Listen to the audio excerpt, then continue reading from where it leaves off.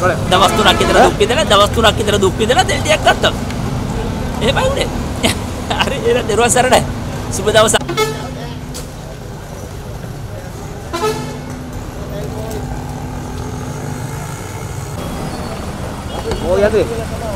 ඔවා කියනවා මහත්තයෝ රට නේද රට පාලනය කරන්න අපිට දුන්නා නම් අපි මීට වැඩිය හොර කරනවා. ඈ වෙන කියන්න දෙයක් නෑ අපිට.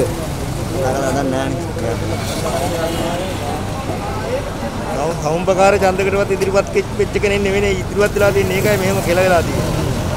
මේකත් පාලින්ගින්ද රට බාර දුන්නාම ජනතාවට මෙයාගේ විපත්ති සිද්ධ වෙනවා. ඊ ඇමතුරු මාරු කරා.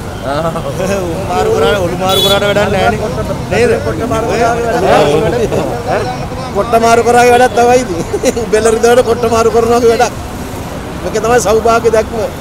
මේ අපි ඉන්නේ කාලා එක්සයිස් එකට මේක ඉන්නේ මේ. හරි එක්සයිස් එකට රටේ නායකයන්ට පේන්න. රටේ නායකයන්ට පේන්න අපි එක්සයිස් කරනවා. අපි මේ ව්‍යායාම කරන්න ඉන්නේ මෙතන. අනේ වකුල යන්දාල යන්න බතන උත්තක් කරන්න එනවා ඉඳලා නෑ. ඉතිරයි කෑ ගන්න තියම්කෝ අරකට අරේ නැන්ද. වාගත් නෑනේ සුත්තා. අර වාඩි යන්න.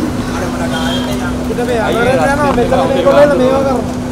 දැන් ඇමතුරු මාරු කරා ඊමෝ කියන්නේ. අම්මා ඒ ගන්නන් සපයි.